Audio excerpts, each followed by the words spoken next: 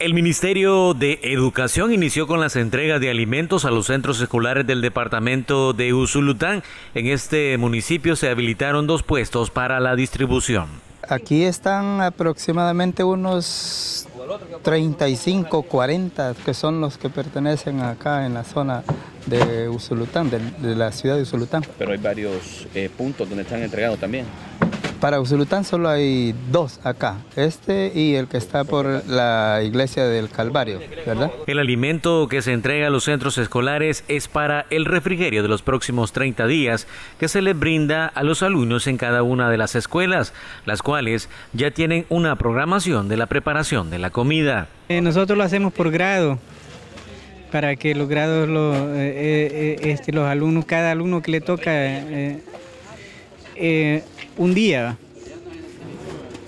Alcanza el alimento para todo el mes que tengo 26 escuelas Sí, alcanza, sí. 25, me dan una expedita ella, cuando acerca lo voy a... La preparación, ¿quién la realiza? ¿Los padres, los alumnos? Cuéntenos un poco de ese mecanismo. Los padres de familia realizan eh, la cocina, o sea, para, para cocinarlo, ¿va? Ellos lo, lo preparan y lo llevan a la escuela, ahí se reparte, eh, va por grado.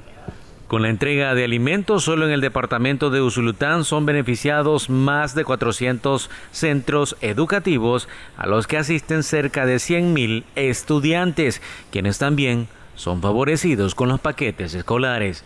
Para Noticiero Sucesos, Jorge Avilés.